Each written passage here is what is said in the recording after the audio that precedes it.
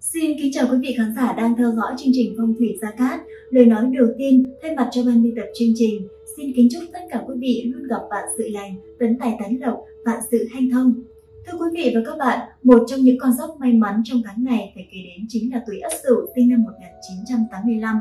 Do được cục diện nhị hợp với Nguyệt lệnh nên trong tháng này, những người tuổi Ất Sửu là một trong những con giáp may mắn nhất phải kể đến. Phần luận giải tử vi cho tuổi Ất Sửu sinh năm 1985 trong tháng năm này được xây dựng và tư vấn bởi thầy Gia Cát cùng với các chuyên gia phong thủy hàng đầu trong Hiệp hội Phong thủy và Tâm linh Việt. Và bây giờ, xin mời tất cả quý vị chúng ta hãy cùng theo dõi. Sau đây là phần tổng quan của các quý vị gia chủ tuổi Ất Sửu sinh năm 1985 trong tháng 5 âm lịch năm 2022. Người tuổi Ất Sửu sinh năm 1985, mệnh Hải Trung Kim, tính cách sôi nổi nhiệt tình, cuộc sống của họ cũng luôn bận rộn với rất nhiều màu sắc. Họ có nhân duyên vô cùng tốt, càng được rất nhiều người yêu mến, quý trọng và giúp đỡ tận tình. Thời trẻ, họ may mắn được sống cảnh sung túc. Tuổi trung niên, mọi thứ đều ổn định, từ sự nghiệp tới gia đình đều không có gì phải lo lắng nhiều. Người này có tuổi già an nhàn, hưởng phúc lộc trời ban. Trong vận mệnh của những người tuổi Ất Sửu, có thể có một đôi lần gặp phải tai nạn bất ngờ ngoài ý muốn, song thương tật đều không quá nghiêm trọng. Khi tiếp xúc với người khác nên đặc biệt cẩn trọng. Nam giới nên tránh kết thân với phụ nữ đã có gia đình, nữ giới cũng không nên bầu bạn với người đàn ông đã có vợ để không vướng phải nguy cơ trở thành người thứ ba. Trong tháng này, tử vi của những người tuổi Ất Sửu rất nhiều phương diện vẫn chưa được ổn định. Đặc biệt nữ mệnh rất dễ vướng vào tranh chấp tình cảm, không những bị lừa tình, lừa tiền mà còn có thể gây tổn hại đến danh tiếng và hình ảnh của bản thân. Phương diện công việc cũng không được như ý, bản mệnh dễ phải chịu những sự chèn ép, cạnh tranh không lành mạnh tại nơi làm việc. Bản thân con giáp này không phải là người giỏi ăn nói, dù gặp bất công cũng không biết đấu tranh vì quyền lợi của mình, dễ chịu thiệt thòi. Xét về thiên can, ất âm mộc gặp bính dương hỏa nên gọi là chính ấn, nghĩa là bản thân được sinh dưỡng và nuôi dưỡng. Đây là tháng khá tốt cho các quý vị gia chủ tuổi Ất Sửu. Nếu có cơ hội tốt cần phải biết nắm giữ thì tài lộc sẽ đến. Sự phát triển tốt đang chờ đợi bạn ở phía trước. Thứ nhất, sự nghiệp quan vận.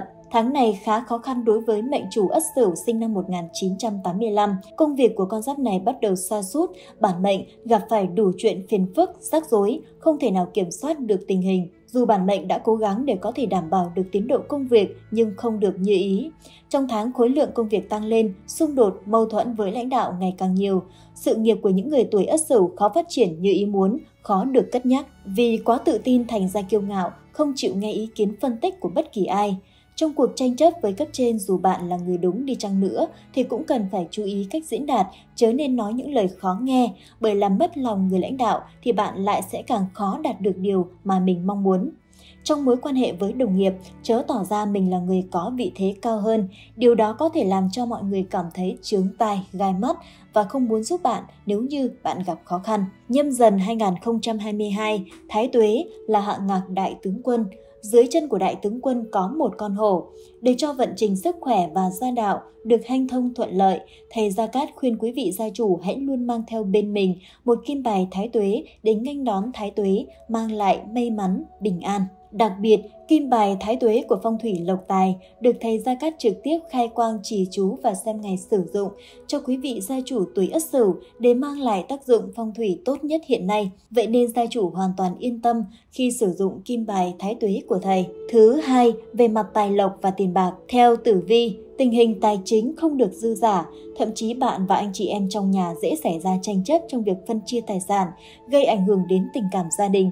Hãy có cách xử lý khéo léo việc này để mọi việc không đến mức đi quá xa. Trong đầu tư kinh doanh, chớ vội tin theo lời rủ dê của người quen đã lâu không liên lạc. Việc đầu tư kinh doanh không hề đơn giản, nhất là với những người chưa có nhiều kinh nghiệm. Do công việc không thuận lợi nên tiền không đủ dùng.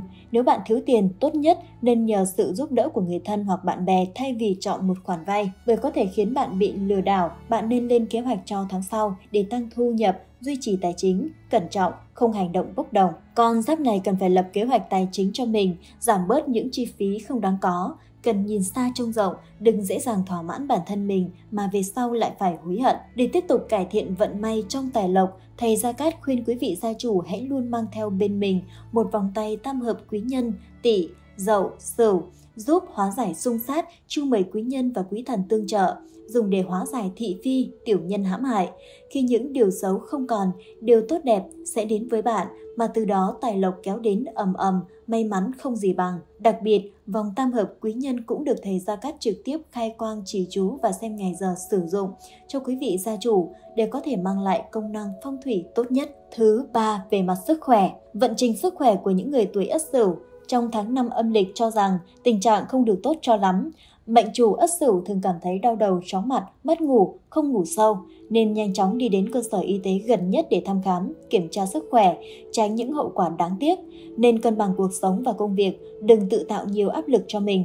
Các quý vị gia chủ hãy luôn mang theo bên mình pháp khí phong thủy, bát bảo tâm kinh. Đây chính là vật phẩm phong thủy có tác dụng kỵ tà, hóa sát, đem lại may mắn, bình an và sức khỏe cho quý vị gia chủ. Để vật phẩm phát huy được tác dụng tốt nhất, thầy Gia Cát sẽ khai quang trì chú và xem ngày giờ sử dụng vật phẩm theo tuổi của các quý vị gia chủ tuổi Ất Sửu. Thứ tư, về mặt tình cảm gia đạo, vợ chồng của những người tuổi Ất Sửu thường xuyên rơi vào cảnh mâu thuẫn xung khắc.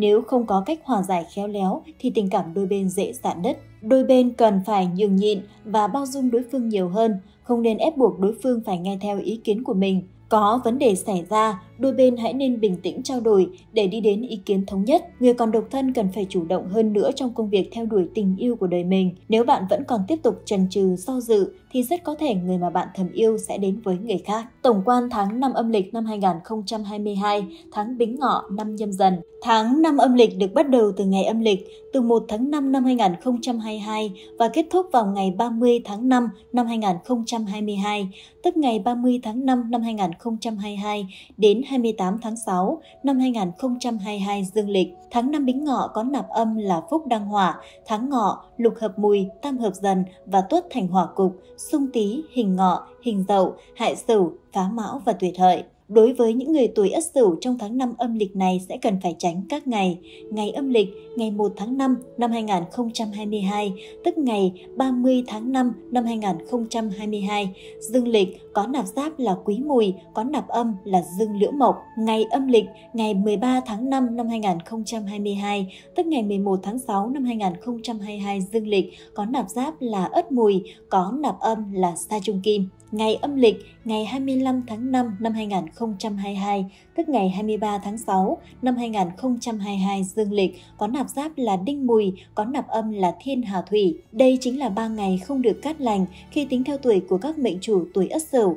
Trong những ngày này, mệnh chủ cần phải hết sức chú ý và tốt nhất là không nên thực hiện những công việc quan trọng. Lời khuyên từ các chuyên gia phong thủy cho bản mệnh là nên chú ý tới sức khỏe nhiều hơn, chi tiêu tiền của vào những việc cần thiết và không nên vung tay quá chán. Các ngày tốt đối với những người tuổi Ất Sửu trong tháng 5 âm lịch năm Nhâm Dần 2022. Ngày âm lịch ngày 6 tháng 5 năm 2022, tức ngày 4 tháng 6 năm 2022 dương lịch có nạp giáp là Mậu Tý, có nạp âm là Phích lịch hỏa ngày âm lịch ngày 18 tháng 5 năm 2022, tức ngày 16 tháng 6 năm 2022 dương lịch có nạp giáp là canh tí, có nạp âm là bích thượng thổ. Ngày âm lịch ngày 30 tháng 5 năm 2022, tức ngày 28 tháng 6 năm 2022 dương lịch có nạp giáp là nhâm tý, có nạp âm là tang tráng mộc. Đây chính là ba ngày cắt lành trong tháng để các quý vị gia chủ tiến hành các công việc liên quan đến xuất hành hay tiến hành những công việc quan trọng sẽ sẽ dễ có kết quả cao, hoặc những vấn đề nhỏ trong gia đình bạn tiến hành đều hết sức thuận lợi. Ngoài ra, việc lựa chọn ngày tốt cần phù hợp với tuổi của gia chủ trong những công việc như tiến hành động thổ, ngày giờ mua xe mới, ngày giờ cưới hỏi. Để chọn được ngày giờ đẹp phù long tương chủ, ngày giờ tài lộc của gia chủ, anh chị và các bạn hãy để lại thông tin dưới phần bình luận theo mẫu họ tên, cộng ngày tháng năm sinh, cộng số điện thoại hoặc anh chị có thể liên hệ trực tiếp đến số hotline hiển thị trên màn hình lúc này để được tư vấn hoàn toàn miễn phí. Thưa quý vị, trong cuộc sống không phải ai cũng luôn gặp được may mắn và thành công. Mỗi năm vận hạn của mỗi người sẽ khác nhau và chính vì thế mà chúng ta luôn phải vững tin vào cuộc sống đầy trong gai này. Qua phần luận giải của phong thủy gia cát thì quý vị đã phần nào nắm được vận hạn của mình trong tháng năm âm lịch và từ đó chúng ta sẽ có được những bước đi vững chắc hơn trong tương lai sắp đến. Rất cảm ơn tất cả quý vị đã quan tâm theo dõi. Còn bây giờ thì Dưỡng Quỳnh xin nói lời chào tạm biệt. Hẹn gặp lại tất cả quý vị trong những chương trình được phát sóng lần sau trên kênh Phong thủy Gia Cát.